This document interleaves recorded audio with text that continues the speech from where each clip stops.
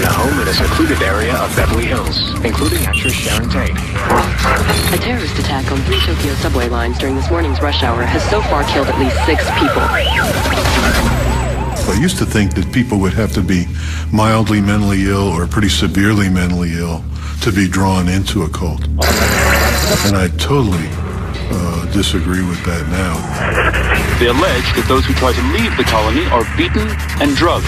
It's also possible that the cult leader has raped dozens of children. What these organized groups have evolved into is organizations of power, money, and sex. The bodies were reported to be the victims of a mass suicide pact, though some had been murdered.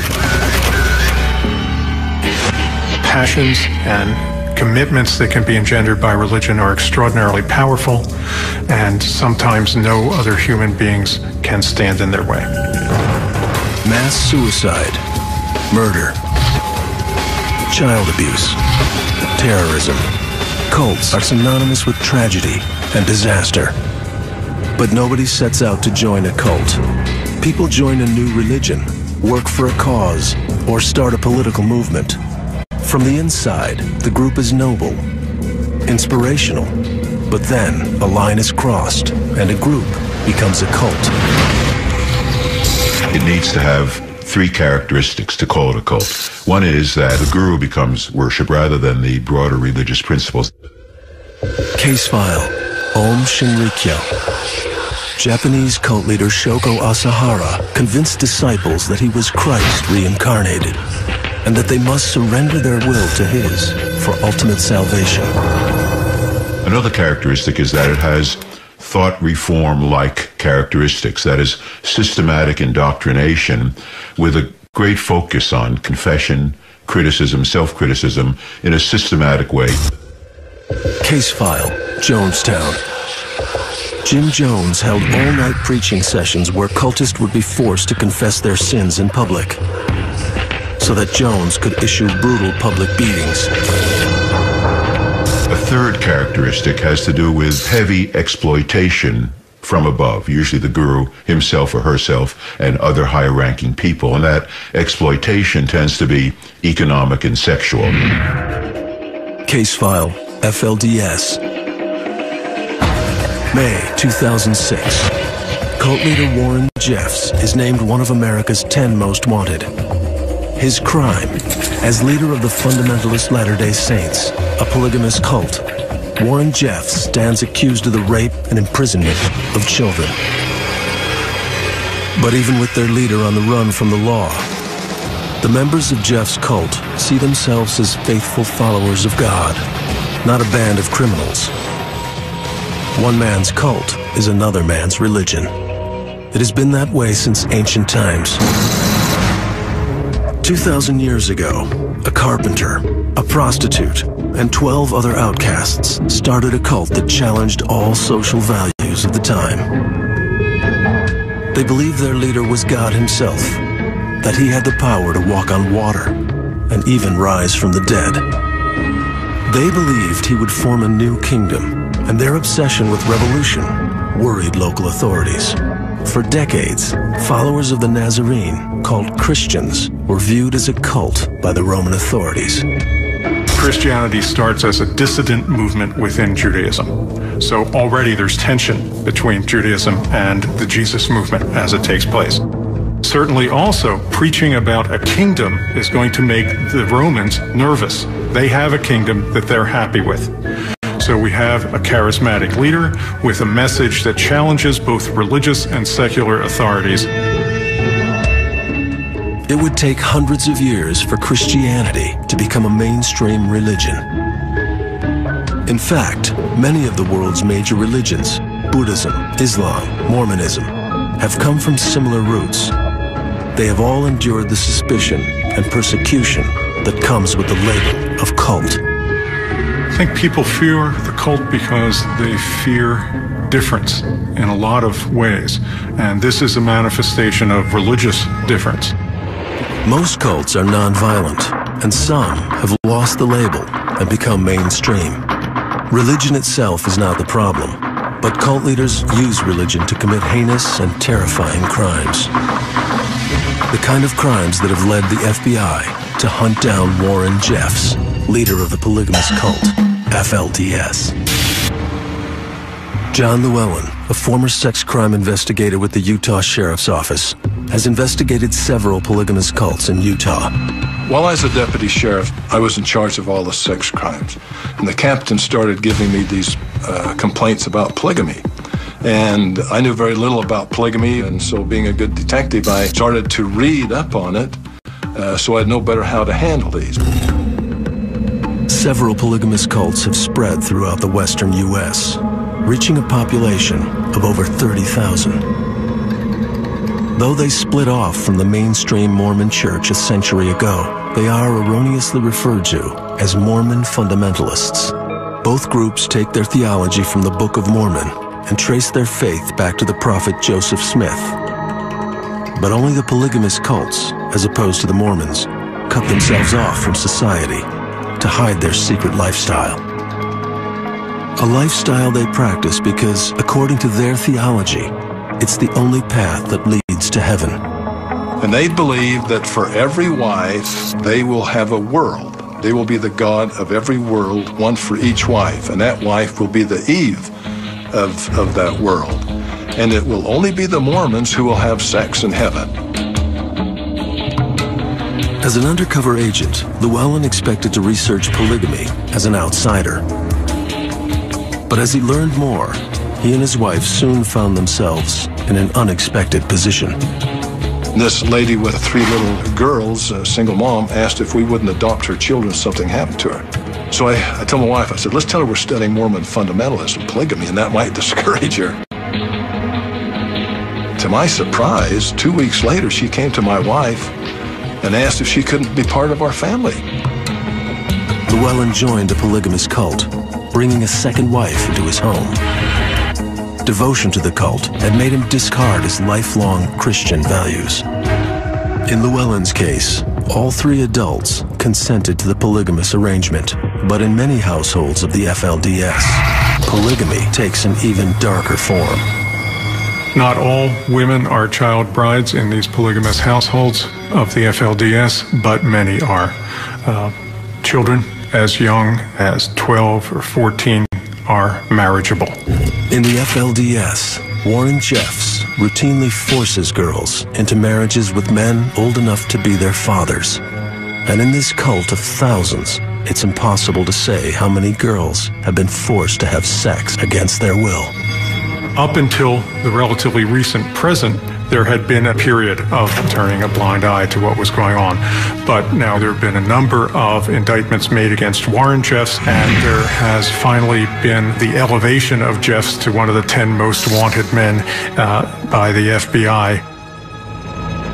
In May 2006, Warren Jeffs became one of the FBI's 10 most wanted. But apprehending Jeffs wouldn't be easy. Upon taking over leadership of the FLDS, Warren Jeffs directed the construction of a 1,700-acre compound outside Eldorado, Texas. The centerpiece is a fortress-like temple, a huge white beacon amid the dusty Texas plains that cultists believe to be the most holy place on earth. Here, at the Yearning for Zion Ranch, the cult has been able to carry out its abuse of children away from the eyes of the law. Warren Jeffs is the latest example of a cult leader. A man driven by power, paranoia, and greed. But as the manhunt for Jeffs continued, unknown numbers of girls became unwilling brides.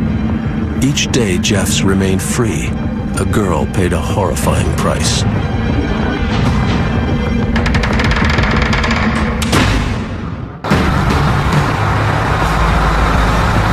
August 28, 2006. Las Vegas police pull over a red SUV on a routine traffic violation. But the man at the wheel is no routine criminal. It is Warren Jeffs, one of America's 10 most wanted fugitives. Like most cult leaders, Warren Jeffs has been using religion to act out his fantasies. Fantasies of domination and greed. Dependent on secrecy, he built a temple to his perversity in the isolated plains of Texas. But now, the prophet has a problem. Locked up in a federal prison, Jeffs is finally to be punished for his crimes. And when cult leaders are cornered, they can drive the cult to self-destruct.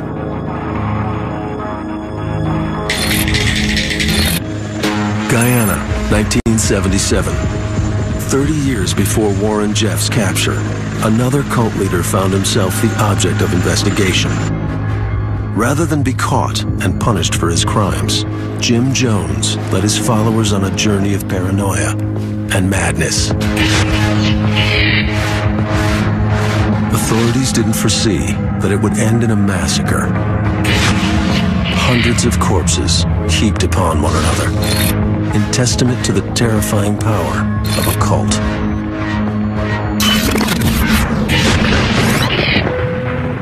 Lynn, Indiana, 1941. Ten-year-old pastor Jim Jones is preparing for one of his first church services. Neglected by his parents and often alone, Jim seeks comfort in the stories of the Bible.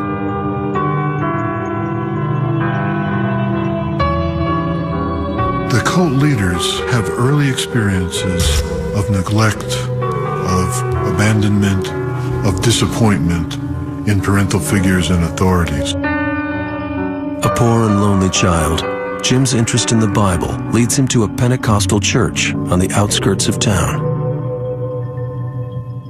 Believing in salvation through the Holy Spirit, Pentecostalists demonstrate their faith by speaking in tongues and witnessing faith healings, often ostracized for their own extreme behavior. The Pentecostalists offered Jim acceptance. I joined a Pentecostal church because they were the most despised. They were the rejects of the community.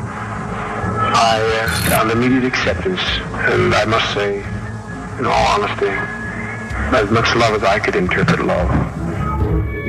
Religion offered Jim Jones the hope and acceptance he needed, but it was power that he craved. He quickly learned to twist religion for his own selfish needs, luring children to his house for Bible study and then locking them in. Raised in poverty, Jones was convinced that a church should provide for its congregants. By the time he started his own church, the young preacher had formed a vision of socially minded ministry that he termed apostolic socialism. Jim Jones's cult early on in Indiana was very helpful to the local community. They provided soup kitchens for the uh, elderly and for poverty-stricken people. Feed the hungry, clothe the naked, minister to the sick and the needy. I mean, that was the core of what the temple was about. Ostensibly, that's what the core of what the temple was about. That's what I believe the temple was about. By the age of 35, Jim Jones is a success. The church he started as a young preacher, newly named People's Temple, is attracting scores of new members. He's found a wife who shares his commitment to racial equality, and together they have adopted a veritable rainbow family. But Jim's radical politics and liberal attitude are too much for conservative Indiana. Early on, he was a guy with some very strong ideals in an unaccepting culture. He had the notion of racial immigration in a tough town like Indianapolis that, didn't support that idea. Despite the growth of his congregation, Jones feels persecuted and misunderstood. His childish need for attention has matured into a full-blown hunger for power. And he must move his church to a place where it can mature. A place that welcomes progressive ideas, social activism, and radical politics. He moves the People's Temple to Northern California. The Bay Area would provide the perfect social climate for the People's Temple. From progressive communities in and around San Francisco, Jim Jones would recruit a small army of hard-working people devoted to social action. The progressive community in San Francisco and liberal community loved us because we were uh, clean cut and responsible and we had money and we helped people. Rest homes for the elderly, tutoring classes for students, free legal advice. People's Temple provided a variety of social services. But for Jim, the social programs served a more selfish need. Most of these uh, destructive cult leaders fit at least eight of the nine criteria for narcissistic personality uh, disorder. Jim Jones, in all of his social programs and his uh, congregation's involvement in the community, increasingly um, built his own sense of power and significance and glory in these projects. The progressive atmosphere of San Francisco afforded a lot of opportunity for an activist church like Jones's. But the quest for power and glory was only part of his motivation. The driving force in the move to California was his exceedingly strong paranoia. In 1962, Esquire magazine published an article on the nine safest places to hide in the event of a nuclear attack. Redwood Valley, just outside San Francisco, was one of them. Jones had had a vision that the Midwest was to be destroyed in a nuclear attack, and it was therefore essential to move quickly. He even set specific dates for this nuclear explosion that would begin the end of the world. I have given the date, the month, and the year where a nuclear war will take place. I want to be like Jonah of old. I want to be proven wrong. I'll be happy if one of my prophecies fail. They haven't yet, but I'll be glad when one of them does. The move from Indiana was only Jones's first step in a dark descent. One that would drive his doomed temple much further than San Francisco.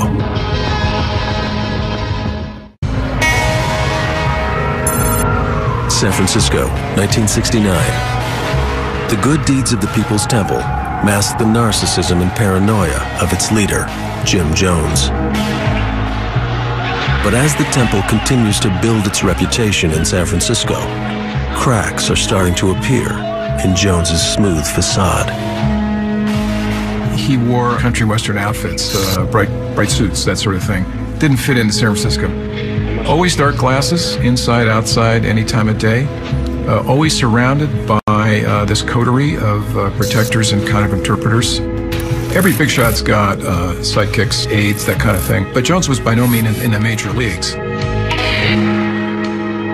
But despite these early warning signs, the temple was still attracting new members, especially young men and women looking to become politically active. In 1968, 20-year-old Tim Carter, a native of the Bay Area, was just returning from combat in Vietnam. By the time that I got out of the bush, my uh, politics had been rearranged completely, 180 degrees. I was very political. I, it, it, was I was part of the counterculture. It was a movement. It's hard to describe it. It was either you were part of it or you weren't. And I was a part of it. And the Bay Area was probably the focal point for the counterculture. Upon his return from Vietnam, Tim was quickly immersed in California's hippie culture, living on the streets, hitchhiking up and down the coast, and experimenting with alternative spiritual movements. But he would soon find a new direction, a cause to devote his life to. So we were doing a meditation, myself and five other friends, and all of a sudden I felt this explosion of energy go up my spine from behind. There's this like bang. And I turned around and I saw this picture. And I said, Who is that? She goes, Oh, that's Papa Jim. He's the most loving man I've ever met in my life. Tim attended his first meeting of the People's Temple in San Francisco. I walked into the temple and it was the most alive place that I'd been in. I mean, I saw black folks and white folks and teenagers flirting with each other and little kids running around and I saw white people helping old black seniors and it just and there was nothing pretentious about it or phony. It was just a place that was filled with life. But I hadn't even met Jim Jones and I knew that I'd known those people forever. Uh, I was home.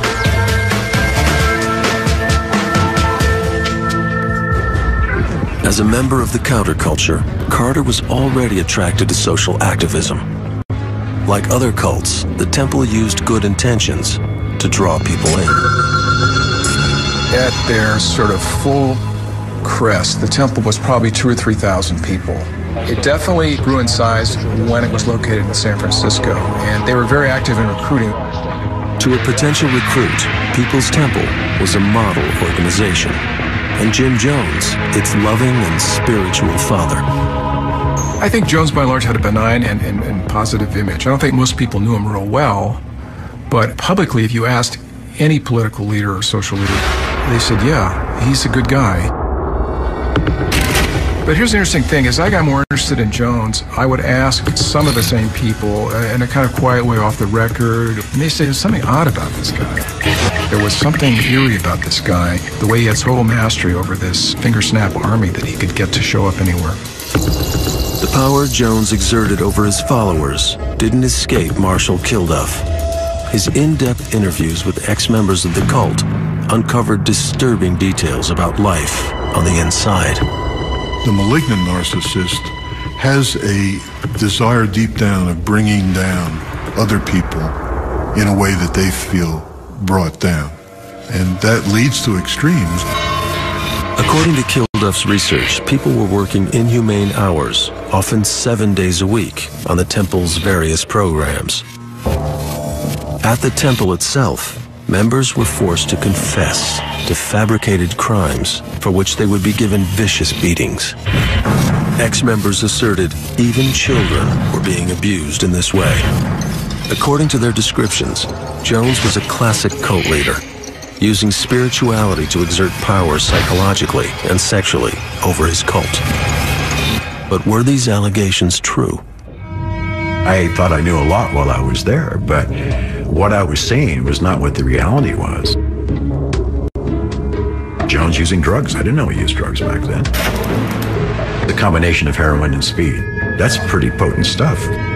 I didn't know that he was having sex with everybody. It's easy to see now, but you don't think that the leader is um, is nuts. San Francisco isn't the safe haven Jones thought it would be. And as the pressure builds, he's starting to lose control. But exposing the truth about a cult leader can have deadly consequences.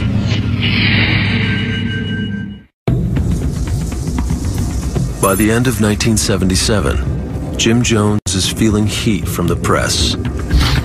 Rumors of sexual and physical abuse run rampant, while reporters continue to seize upon the story. I mean, we have conspiracies to deal with. I could name you 15 different conspiracies. Those who want to break uh, progressive, nonviolent forces working for change within society, they've got a great willingness to be cynical and believe the worst about people. You don't hear much uh, uh, promotion of good things about people, but you sure hear a hell of a lot bad. Again, feeling persecuted, Jim Jones loads up the buses one last time. The temple members that I sort of heard from later did get the sense that the temple was kind of on the run, uh, was uh, in, in, a sort of dire situation that needed uh, some sort of correcting. They had to get out of San Francisco. In 1977, Marshall Kilduff's article appeared in New West magazine, exposing the abuse within People's Temple. But by the time the article is published, the temple was already in the midst of a mass exodus. In a matter of months, almost a thousand people are relocated to Guyana, South America. After a long flight to the capital of Georgetown, temple members endure a grueling 36-hour trek by boat and jeep. Finally, they arrive at the humble cabins of the People's Temple Agricultural Project, aka Jonestown. Here, in the isolation of deep jungle, Jones believes he can finally have complete control. Well, for a guy who loved the public limelight and liked to uh, attract new followers, you couldn't square that with Jonestown. But he clearly wanted uh, more total control, a place he could really be all by himself. Maybe that's what he always wanted, create his own world.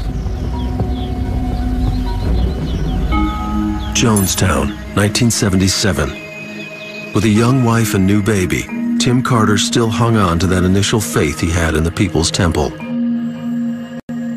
Like some other cult members, he had begun to distrust Jones, but still, he chose to stay. Some members explained this to Marshall Kilduff. They said we all had joined the temple for a lot of reasons. We wanted a better society, a integrated world, uh, a meaningful life, and it was hard to turn back from that idea to sort of say, well, I was wrong, I'm a fool, and now I want to leave. The cultist's commitment was tested again and again. residents would be subjected to more public beatings and humiliations. Disobedience was punished with solitary confinement, and some were even put down with sedatives, leaving them in a permanent semi-conscious state. The extreme tactics were justified by Jones's paranoia. He believed they were under siege. Well, this whole siege mentality was developed by Jones as a way to draw people closer to the temple as it as it became more cut off, more estranged from the real world. The members were made to feel kind of on edge. The senses were just overloaded. You worked hard. You, were given lousy food. You were told your life was endangered. So, so they were really driven to distraction by a series of these kinds of uh, treatments. Like all cults, the People's Temple had gone through a metamorphosis. What was supposed to be an oasis of communal living, a socialist paradise of brotherly spirit, had quickly changed into a police state. The hippie commune had become a prison camp. But the transformation of Jonestown was merely a reflection of the change in Jones. The lonely little boy who had become a warm, generous preacher had morphed into a desperate, paranoid dictator. At the very end, this guy was a drug addict, uh, delusional, um, crazy. There was worry that temple was really getting to an unhinged point. Back in the U.S., someone decided to step in. San Francisco Congressman Leo J. Ryan is enlisted by a group of relatives of Temple members who are unable to make contact with their family in Jonestown. Concerned relatives are beating their heads against the wall here. You're a congressman. Maybe you can get something more done that we haven't been able to do on our own. And he made plans to go to Guyana. And after a lot of fencing around uh, with the temple, uh, finally succeeded in convincing them to let him in. Jim Jones is in a tight spot. He's been chased from Indiana to California, all the way to Guyana. And now, a congressman is showing up at his front door.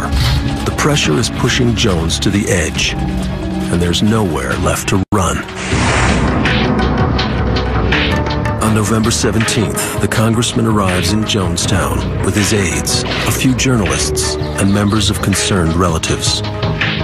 At first, Ryan is genuinely impressed. A few conversations I've had with some of the folks here already this evening that uh, whatever the comments are, there's some people here who believe that this is the best thing that ever happened in their whole life. But at some point during the show, a note is passed to one of the guests. A temple member wants to leave Jonestown. The news starts a domino effect, and others begin approaching Ryan and saying that they too are being held prisoner. Soon, a group of nine are ready to leave with the congressman. Jones is disappointed. Leave us. I just beg you, please leave us. Bill, we will bother nobody. Anybody wants to get out of here can get out of here. These people get ready to go. It's these nine people are leaving with the congressman. It's about 1.30, 2 o'clock in the afternoon when just out of nowhere, just out of nowhere, the sky turned, I'm not talking metaphorically, the sky turned almost black was a freak storm. It was like evil itself blew into Jonestown. Everything changed. Everything changed on that wind and on that storm. Ryan and his entourage are forced to wait out the storm. But Jim Jones knows that he cannot allow anyone to leave Jonestown. You could see on his face his mood change. He just got darker. I'm talking about his energy got darker, uglier. In an act of desperation, Jim Jones orders an aide named Don Sly to do the unthinkable. And he walked up behind Ryan, and all of a sudden he pulls out a knife and he says, All right, mother, you're gonna die. Tim Carter and others wrestle the assailant to the ground. The congressman is unhurt, though shaken, and quickly leaves Jonestown. It's hard to even describe the horror that I felt or the shock. I had been playing peace and love for all these years, you know, and I woke up with a murderous monster, you know, as a leader. A few hours later, Congressman Leo J. Ryan, along with four others from the group, is gunned down at Port Kaituma airstrip in Guyana. On strict orders from Jim Jones. But at Jonestown, only Jones is aware of the murder. Calm and collected, he calls a meeting at the main pavilion. As the meeting starts, Tim Carter is sent on an errand. The reason I saw what I saw is because I had been sent from Jones's cottage to the pavilion to ask him if he wanted a truck to take us to the front gate, which was three miles from there. By the time I got got there, that people had just started dying. There was maybe uh, whatever it was, ten or twelve people that were on the ground. Jim Jones had come to Guyana to start a new world, but no one knew it would become a hell on earth.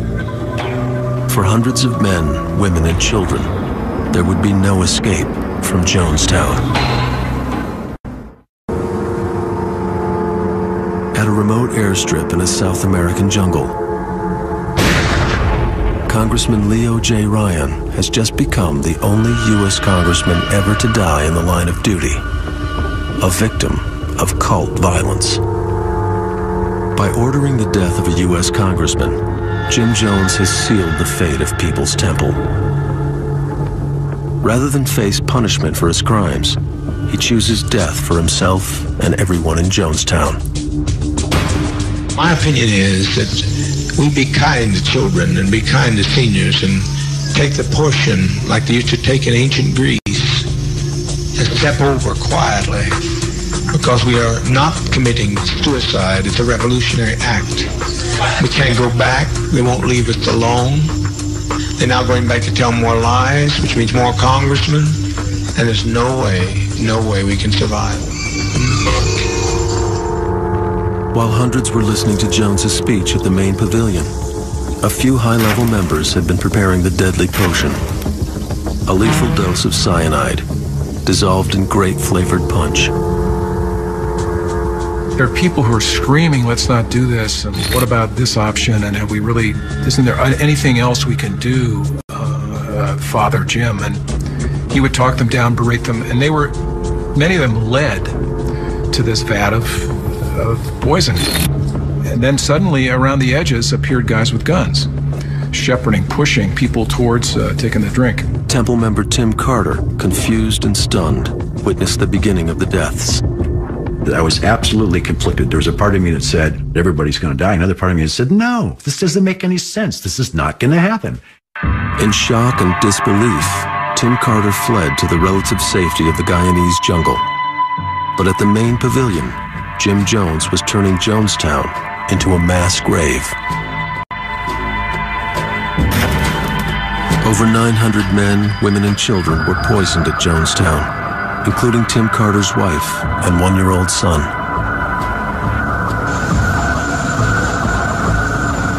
Along with Carter, only a few others escaped from Jonestown with their lives. Jones himself was found with a fatal gunshot wound to the head.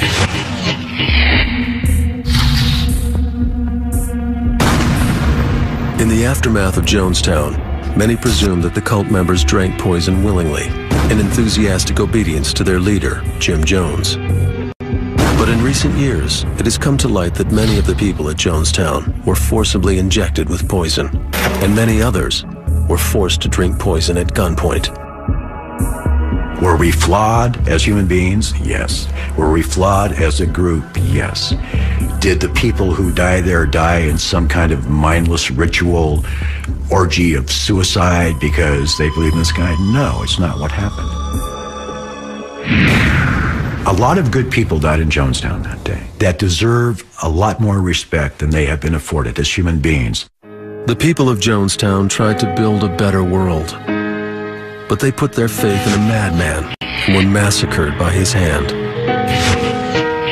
We may never fully understand the events that brought them to this unbelievable end.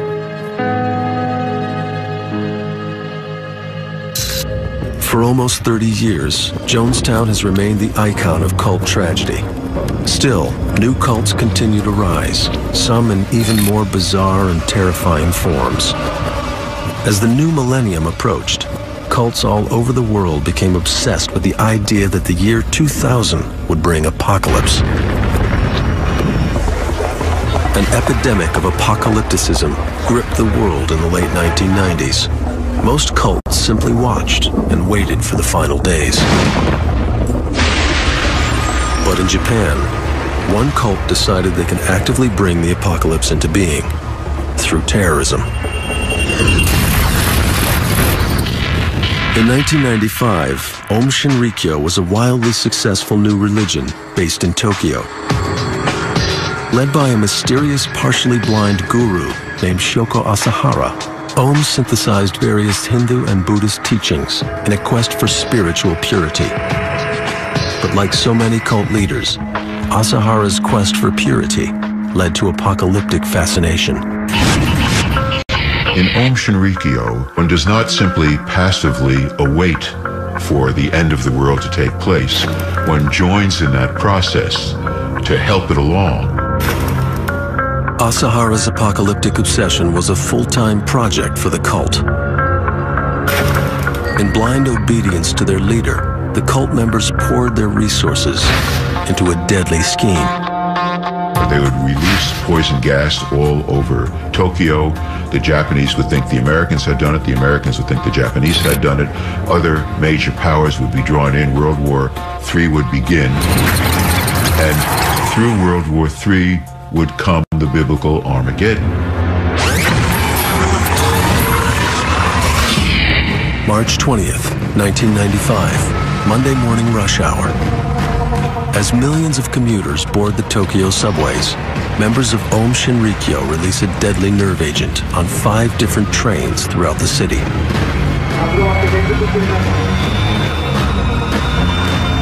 The chemical weapon is known to cause suffocation, convulsions, and death. Nearly 5,000 people were injured in the Tokyo subway attack, and 1,000 required hospitalization. 11 were killed. In the months that followed, governments began to realize the horrible implications. As powerful weapons land in the hands of fanatic cults obsessed with apocalypse, disaster will strike. Around the world, police prepared to do battle with the terrorist cult. It wasn't the kind of terrorist group that wanted to hijack planes or do simple acts of what we think of as terrorism. What Aum kind of suggested was a wider goal, a more ambitious goal of changing the world, remaking the world. With the significance of the year 2000 in many religious traditions, including the stories of the Book of Revelation, the FBI began an ambitious project to identify which cults, out of the thousands in existence, had the potential to become dangerous. In 1999, they released the Project Megiddo report.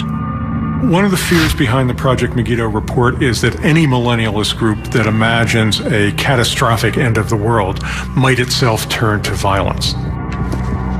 But again, the report fails to distinguish between rhetorical violence, descriptions that happen in texts, and actual violence perpetrated in the world by people who take those descriptions seriously. In trying to prevent cultic violence, law enforcement authorities must walk a fine line. The line between a religion and a cult. In a society where religious faith is praised, but religious violence is condemned, there will always be opportunities for cultic tragedy. As long as there is a call in a religious community to live a life that is different from the life everybody else lives, to obey laws or practices that might be different from everybody else, there is the possibility of tension. Wherever there's the possibility of tension, there's the possibility of conflict. Wherever there's the possibility of conflict, there's the possibility of violence. Cults share certain defining characteristics. In a cult, leaders recruit members through deceptive techniques that rob them of their identity and individuality. Experts have termed these techniques thought reform. Thought reform is a systematic effort which has two stages. One is the breakdown stage with heavy confession and a, a breakdown of one's own psychic integrity. And then there's the second stage, which is re-education, trying to remake a person into a new person. Case file, the family. Cult leader Charles Manson used a systematic program of drug use and sexual violation to break down his young recruits' resistance, rendering them vulnerable to Manson's bizarre re-education. The cult tends to focus on the leader and his needs as opposed to most religions. The focus would be on the community or upon worship. Case file, Branch Davidians. As leader of the Branch Davidians in Waco, Texas, David Koresh wasn't satisfied being followed as a preacher. He needed to be worshipped as a god. With Koresh demanding that the group members call him dad or father, and then that gradually moves to God the Father and actually God. Finally, cult leaders exploit members to fulfill their own needs for power and control. In many cases, the exploitation is financial or sexual, but at times has taken an even darker form. The California Institution for Women is the largest penitentiary for women in the state of California. A model inmate for almost four decades, Leslie Van Houten is attending her 16th parole hearing. In ordinary circumstances, she would have a good chance of receiving parole. But Van Houten is no ordinary criminal. 37 years ago, before her life as an inmate, Leslie devoted her life to a cult. A cult led by Charles Manson.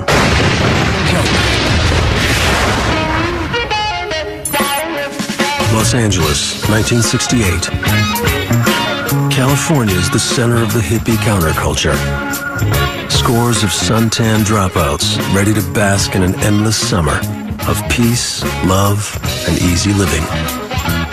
It was drugs, it was peace, it was free love. And people were in that state of mind to tune in and, and drop out. An 18 year old former homecoming queen, Leslie Van Houten, had run away from home to join the hippie scene. After moving from commune to commune around California, Van Houten met a charismatic dropout named Charlie. At 34 years old, Charles Mills Manson had already lived a hard life. Born to a wandering teenage prostitute who tried to sell him for a pitcher of beer, Manson was thoroughly neglected as a child. His mother was a very loose woman, a drunk. She spent a good number of her early years and Charlie's early years herself in prison. Hard to raise a kid when you're in prison. So he was with left with other people. And then he very soon found a life in prison himself. Burglary, assault, grand theft auto. By his mid 30s, Manson's rap sheet matched that of a career criminal.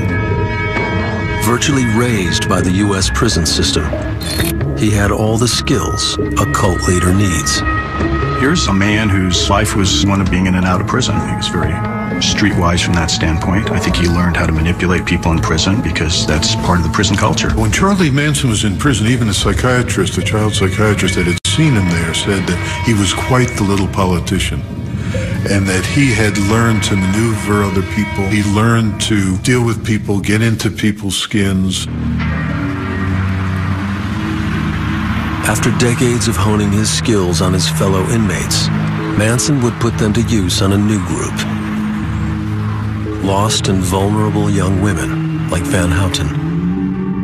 When he stepped back into society, he was able to lure the unsuspecting teenagers, the young girls who were looking for a purpose. Future cult members are in between high school and college, in between marriages, in between jobs, in a place where you're without moorings for a period of time. And so the in-betweener is very vulnerable to recruitment.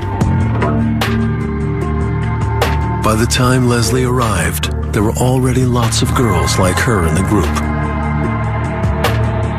Susan Sadie Atkins, 20, a runaway who met Manson in San Francisco.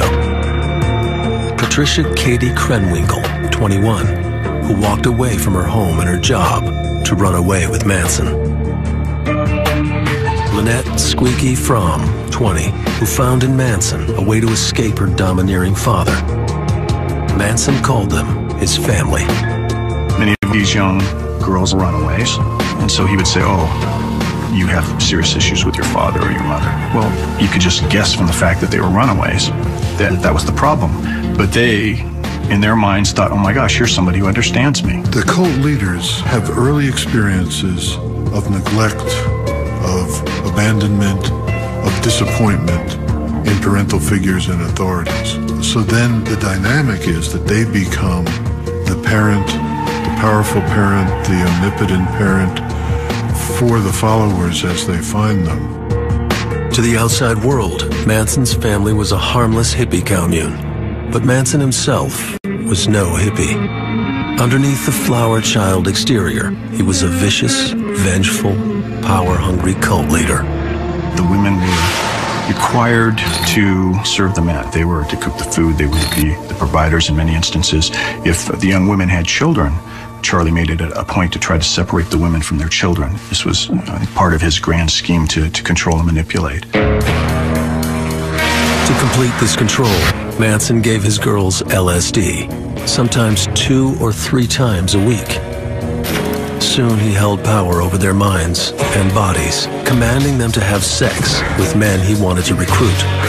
Like many cult leaders, Manson was able to sexually exploit his members because of the strength of his indoctrination. He had convinced the girls he was Christ incarnate. Using the girls as bait, Manson lured more and more men into the cult. With their addition to his growing family, Manson could finally start enacting his great plan, Helter Skelter. In December 1968, the Beatles released their White Album.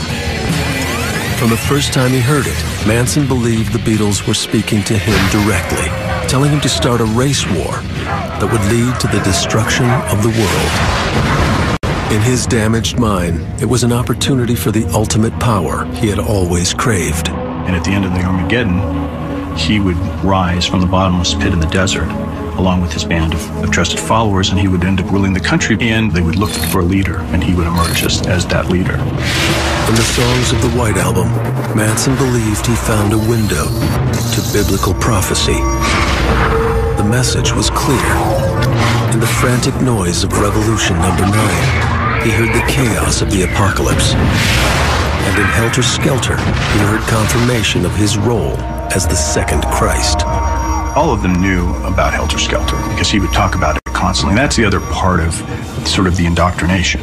You know, he would constantly repeat over and over again his plans, his philosophy, his theory as to what was going to happen. And if any family member was initially skeptical of this concept of helter skelter, if you keep hearing it over and over again while you're taking drugs and you're involved in this environment, eventually you begin to start believing. At age 19, Leslie Van Houten believed in helter skelter and in slave-like devotion to Charles Manson. She would take part in one of the most outrageous crimes of the century.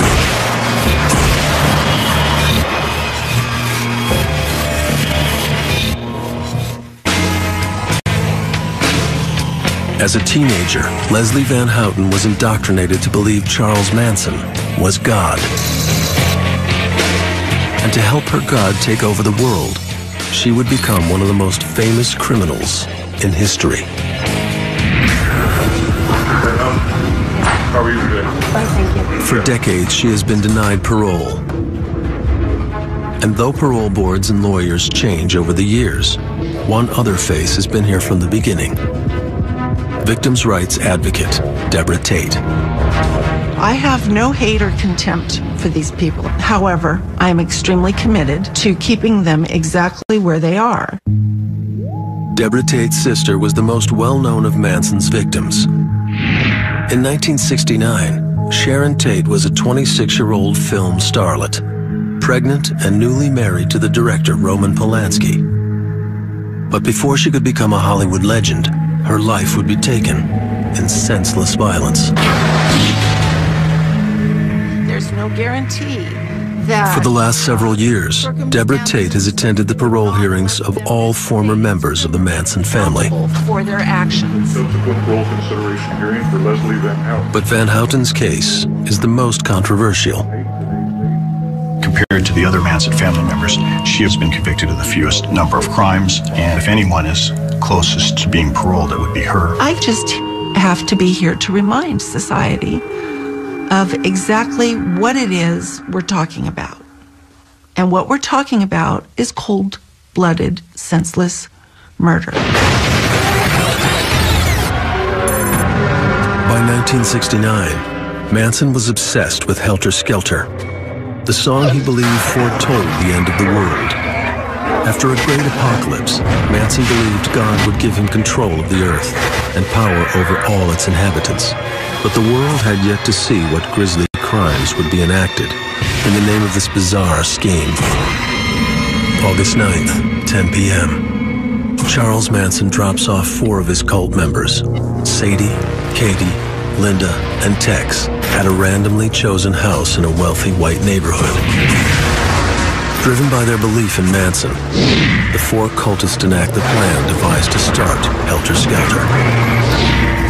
One by one, they brutally beat, stab, strangle, and shoot their five victims, including actress Sharon Tate, who was stabbed 16 times in the back and chest. Her blood is used to write cryptic messages on the walls. When the murders were first reported, it sent a wave of fear throughout Los Angeles. It was very confusing. People didn't know what to think. People were very afraid because you have these random killers. The murders sent a wave of fear throughout the city. But they failed to start the apocalypse. Manson's vicious plot called for more murders, and he knew that his girls would be all too willing. The girls in the family viewed Charlie in a number of ways as a father figure, as a lover, as Jesus Christ, as many of them thought he was. Basically, as this presence that they loved and they were willing to, to do anything for.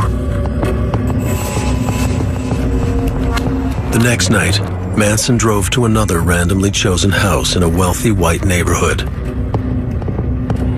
This time, the group was slightly different. It included newcomer Leslie Van Houten.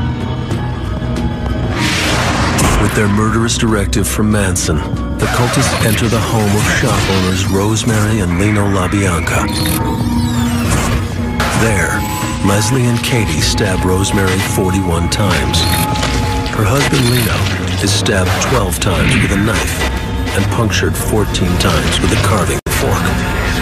Crime scene photos are horrible. I mean, they carved war into Lino LaBianca's chest.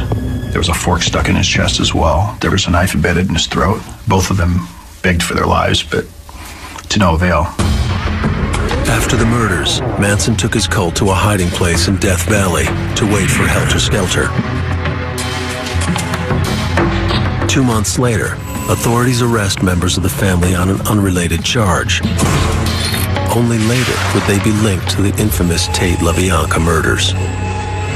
At only 20, Leslie Van Houten was charged with first-degree murder. Throughout the investigation, Manson's indoctrination of the girls remained strong. His was the only authority they recognized. Even when threatened with life imprisonment, they were unconcerned and remorseless. As the world watched, the Manson girls sung their way through a trial for murder. They were absolutely flip about it, as if nothing had happened, as if they were proud of what they had done, that there was no shame or no sense of wrong. Throughout the trial, Manson's strangle like hold on the girls became more and more visible. When he carves an X into his forehead, the girls mutilate their own faces. When he shaves his head in protest, the girls follow suit. But petty demonstrations weren't enough. Manson wouldn't be satisfied until they had sacrificed their freedom and their futures. The jury is unanimous. Leslie Van Houten is convicted of first-degree murder. The three defendants are eventually sentenced to life in prison. There's something that caused them to do such a horrible crime, and to do it in a manner where there appears to be no remorse afterwards. And so when you have someone like that, the question becomes can they ever really be rehabilitated? To say that they would be viable, functioning individuals in a free society, I, I just can't go, go with that. At Leslie Van Houten's 16th parole hearing, The arguments have been made, and the issues have been deliberated. As the news cameras wait, the parole board is about to give their decision.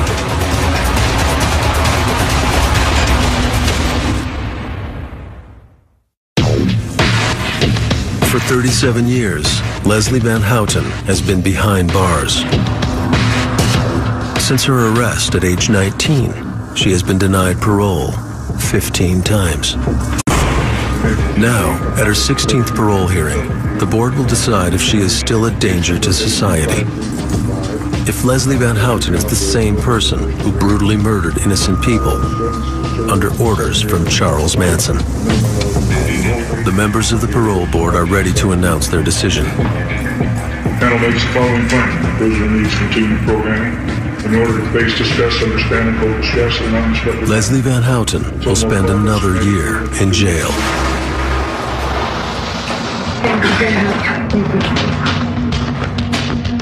Her cultic devotion to Charles Manson has cost her her freedom. Charles Manson was striking back at being neglected and abandoned. So what he did was ultimately set it up so that several young women who were about the age of his mother when she went into prison, and he sees to it that these women are going to spend the rest of their lives in prison. Manson's vengeance was complete. Almost 40 years after their cultic crimes, all three Manson girls remain imprisoned. But every parole hearing or attempted appeal is still a media circus. We all need to stand together and put our foot down and the hard work that she's done. If the crime were committed today, the minimum sentence that she would have received for these The world continues to be shocked by the naked cruelty of these decades-old crimes. But there are other equally shocking cults that the world has never heard of. Remote outposts of torture and death. Nestled in lush green mountains lies a ghost town few have ever seen. The clean, white walkways are empty, and the little houses stand abandoned. But the quaint Bavarian architecture disguises a horrific history.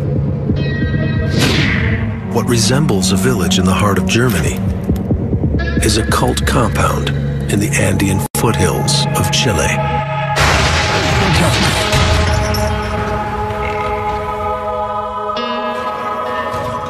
In the 1950s, Paul Schaefer was the spiritual leader of a Baptist church in his native Germany. Extremely strict in his doctrine, Schaefer appealed to a group of pious Germans who believed in the cleansing power of penance and asceticism. But while preaching the heavenly virtues of self-denial, Schaefer himself indulged in disturbing perversities. Schaefer had been denounced for two or three episodes of abuses of children. So he had to find a way to get out of Germany and still have unlimited access to children. A compulsive pederast, Schaefer had been molesting the young boys of his congregation for years. When he came under suspicion of the German authorities, Schaefer fled with his congregation to the safety and anonymity of South America. In 1961, he purchased a large piece of land in a remote area several hours south of Santiago, Chile. There, he put his cult to work building an orphanage for Chilean children, with whom he could enact his twisted fantasies. Heinz Kuhn, a German national, spent six years at the colony. Let me tell you something. If this were to happen to me today, I would never have gone. But when you are young, 19, 20 years old, you're not prepared for life, and anything is possible in a group. To the Chilean locals, Colonia Dignidad, the colony of righteousness, was a successful humanitarian organization. In a very short time, the cult had built a functioning hospital that tended to local poor, a large farm that grew a surplus of crops, and even a large commercial food unit that churned out German sausage and strudel to be sold in stores throughout the country. Schaefer turned his cult into a thriving business, with a glowing reputation and huge profits. Profits that were based on slave labor. As far as the religious preaching that had existed in Germany, it was like goodbye, nothing. Only work, work, work. All for God, all for something grand, something beautiful. We work from the morning until night. And then the cement trucks would arrive and would continue again for two or three hours. Everybody unloading or building a house, placing roofing tiles. The motto was, work makes you free. The same motto was written on the gates of the concentration camps. Using the slogan of the Third Reich, Schaefer had built his own private slave camp. Cult members worked long days, often seven days a week. Refusal was out of the question, as public beatings and other sadistic discipline tactics became more and more common. But by the time these gradual changes had taken effect, it was too late. Escape was an impossible dream. And while Schaefer used the colony to bring in children for his sexual use, he found adult consensual sex sinful and grotesque. Residents of the colony were barred from having sex, even husbands and wives. Between 1982 and 1997, 15 years, not a single child was born in that place because he convinced everybody that sex was a crime no matter what conditions. Sex between man and wife was a crime. Members of the colony feared Schaefer's vicious punishments, but celibacy was a rule almost no one could endure. Couples found ways to keep their sexual relationships secret, but when Heinz Kuhn impregnated his own wife, they were forced to attempt escape. With no money, no sense of geography, and only speaking German, the lovers were quickly caught and brought back to the colony hospital. The woman was given a forced abortion, while Kuhn endured his own personal hell. I was imprisoned in this hospital. I say imprisoned because it was against my will, with electroshock, pharmaceutical shock, and without giving me a drop of water for 15 days or more. Schaefer was particularly fond of using electroshock to discipline his cult. Men and women were given painful, sometimes crippling doses of electroshock to various parts of the body. And most tragically, as part of his twisted pedophilic philosophy, Schaefer implemented a bizarre plan to stop children from growing up. They treated the children to various processes that were aimed at inhibiting sexual development. It is documented that girls were treated to electroshock in the vagina, hormones were applied, because for Schaefer and for some of them, the fact that a girl develops into a woman is a terrible thing. Like Manson and other cult leaders, Schaefer directed his most violent impulses towards women. Preaching that women were instruments of the devil, whose purpose was to tempt men to sin, Schaefer subjected girls to bizarre and painful experimentation. The colony's modern hospital had become a haven for torture, soon to be feared by the entire nation. In 1973, General Augusto Pinochet staged a coup that successfully took over the Chilean government and set up a military dictatorship.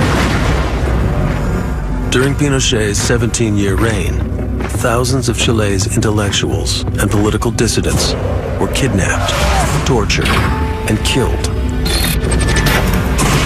It was only a matter of time before the two vicious dictators met. They become relevant for the militaries because they are a big place, well protected, uh, guaranteed from the point of view of security and information, and they became a center for torture, for training torturers. Chilean people that were detained by the Chilean police were taken to that place, were tortured, some of them were murdered, their corpses were disappeared. To this day, it is a matter of debate whether cult members knew their compound was a torture center for the Pinochet regime. But if they were ignorant to the government's activities, they were witnesses to Schaefer's increasing cruelty within the cult. I couldn't take it anymore. Every day, the same thing. Shouting at people, hitting people, abusing children. We were silly fools telling the outside world how good we were. After three attempts, Heinz Kuhn escaped Colonia Dignidad alone, unable to convince his wife to flee. It would be decades before Paul Schaefer's dark secrets were finally uncovered. In 2005, Paul Schaefer was apprehended on charges of physical and sexual abuse. After an eight-year manhunt, authorities were able to arrest Schaefer without endangering the lives of his cult members. It was one small victory in a world that is littered with cultic tragedy.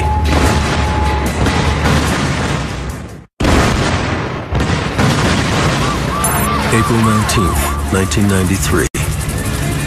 Flames engulfed the Mount Carmel compound outside Waco, Texas, killing more than 70 people. Under the leadership of David Koresh, the Branch Davidians, an offshoot of the Seventh-day Adventists, had entered into a shootout with federal officials that ended with the disastrous fire. But violence was only a recent development in Branch Davidianism, a cult that spans back half a century. Like many cults, the Branch Davidians have a long history of millennialism, a belief that God will set up a utopian kingdom here on earth. But the world we live in is so evil and corrupt, it must be destroyed to make way for God's millennium. In Charles Manson's mind, this would be accomplished by an apocalyptic race war. But for the Davidians, it would come through the prophecies described by the Bible and the book of Revelation. The biblical book of Revelation is almost hallucinatory in its imagery. It's lush, it's extravagant, it has trumpets, it has monsters, it has almost anything that a fevered mind could imagine. And one of its early scenes is a scene of God seated on a throne holding a scroll that is sealed with seven seals. In the book of Revelation, the Lamb of God begins breaking each of the seals, unleashing events that destroy the earth. Since their beginning, Branch Davidians have been obsessed with this description of apocalypse and determining when it will happen. One thing we know about millennial groups is that none of them has been right yet. But that hasn't stopped people from trying to figure out when the end will actually come. In 1957, the Mount Carmel community sprang up in the dusty plains of West Texas. From here, the Davidian message of imminent apocalypse would travel all the way to Australia, where it was heard by a young Adventist named Clive Doyle. Ever since becoming Seventh day Adventist, I had been interested in Bible prophecy. And so, living in an age when you figure God's going to finally do something after 2,000 years, you know, it uh, was kind of exciting. In 1966, Doyle came to Texas to join the Mount Carmel community. Through 25 years as a practicing Davidian, he followed a succession of Davidian leaders, or prophets. One of the important things to remember about the Adventist tradition is this notion of present truth, which makes it almost an expectation that there will be someone in each generation who will have prophetic guidance for the community. In 1981, Vernon Howell, a 22-year-old failed musician from Houston, had been looking for someone to translate the Bible's apocalyptic prophecies. At Mount Carmel Center, Vernon met the newest Davidian prophet, a 68-year-old woman named Lois Roden.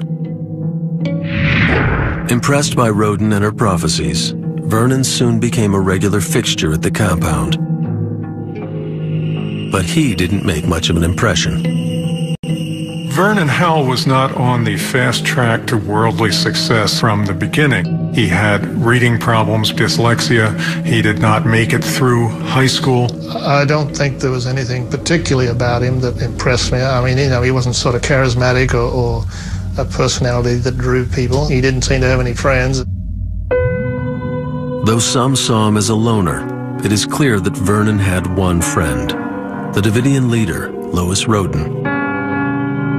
In fact, some Davidians claimed that the 22-year-old boy physically seduced the 68-year-old widow, appealing to her with a prophecy of his own.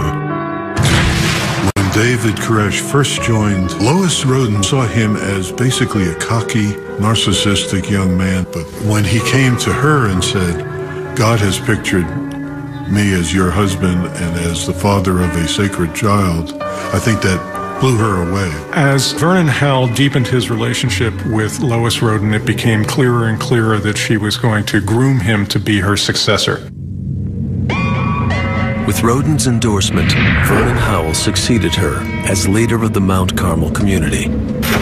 And because the Davidians were already indoctrinated to believe in modern prophets, Vernon had a compliant group from the start.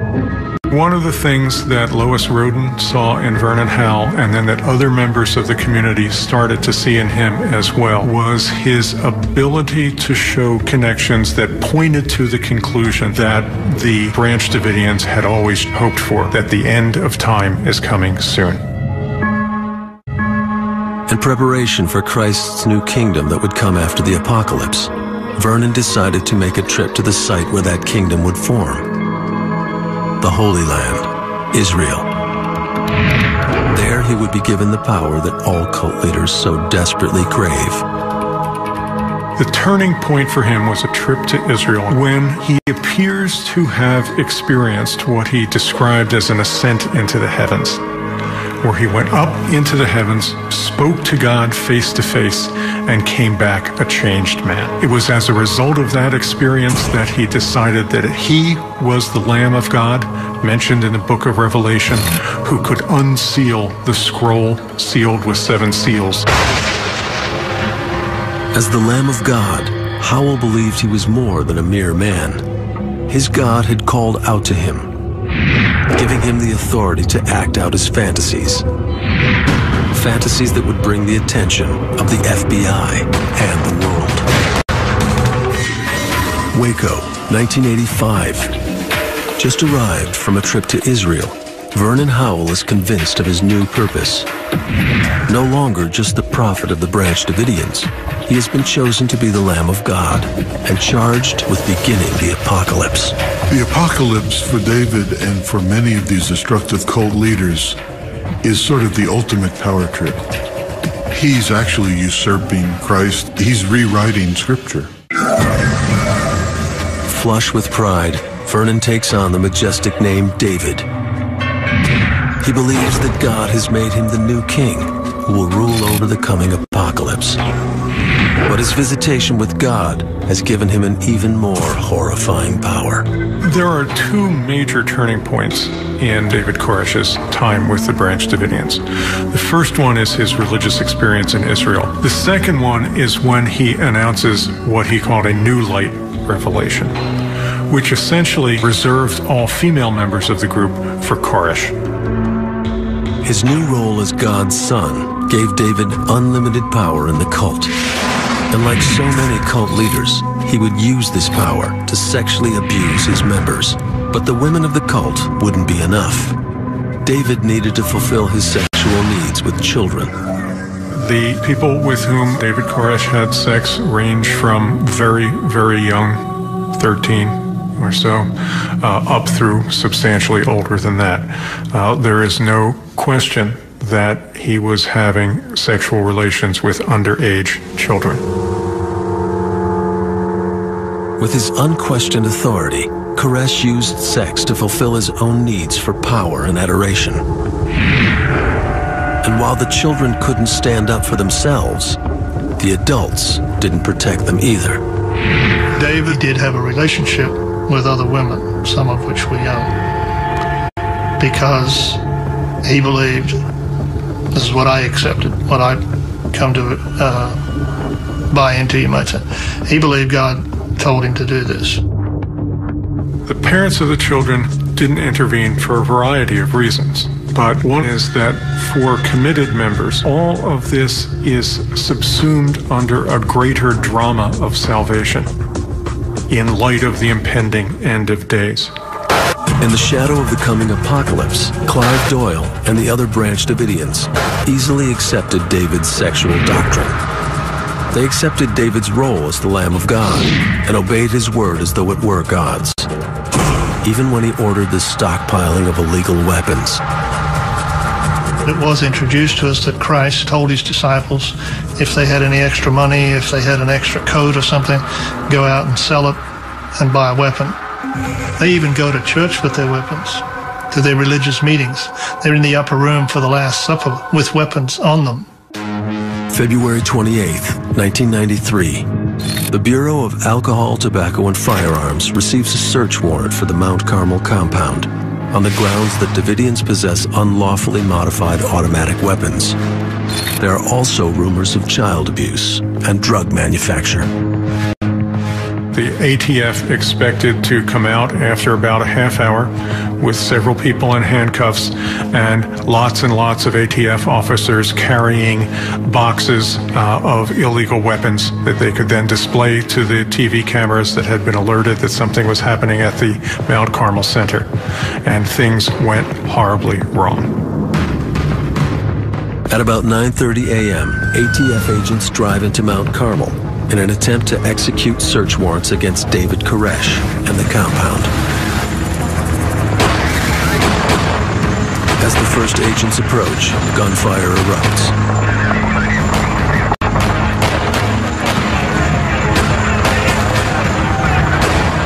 Four ATF agents are killed and 15 are wounded. An undetermined number of Davidians are killed and injured. I think there was a lot of shock with the initial raid. Guys jumping out with guns and shooting almost instantly was a shock. There's so much happening. Bullets coming through the walls, through the ceilings, up through the floors. The details of the assault are still controversial, as both the ATF and the Davidians claim that the other side fired the first shot. What is clear is that the authorities were unaware that their actions would be interpreted in a religious context. As FBI trucks surrounded the compound, the Davidians imagined they were entering into a final apocalyptic battle.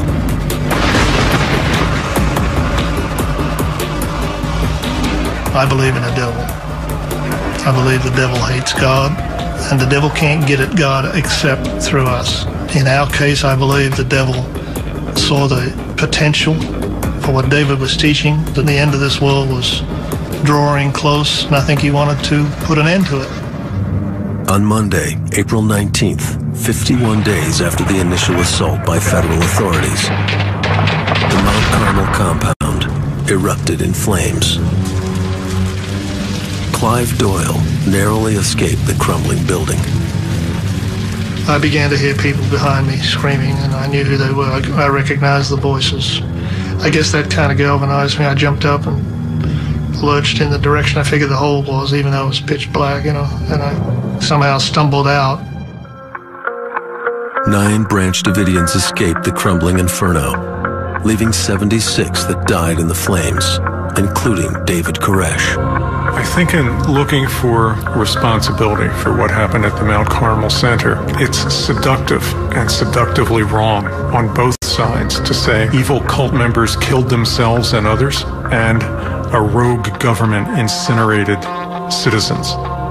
Somewhere between those lies some of the truth. Policing cultic violence is a dangerous and complicated task. Cults come in unpredictable varieties, from disorganized gangs to groups with military like precision. As cults continue to appear in new and